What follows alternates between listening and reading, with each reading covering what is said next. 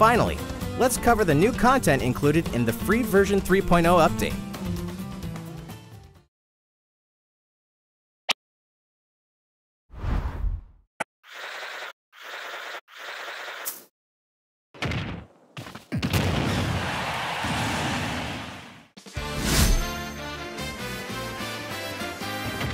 Make your own stages and try them out immediately with the new Stage Builder.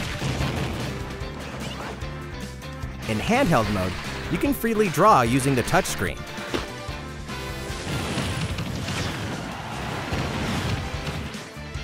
Create moving platforms, spinning platforms, whatever strikes you.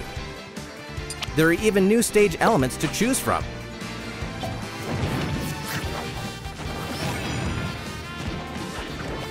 And there are front and back layers.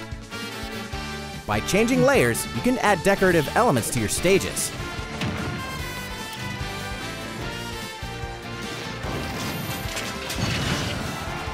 When you finish a stage, you can battle there by selecting it from this tab on the Stage Select screen.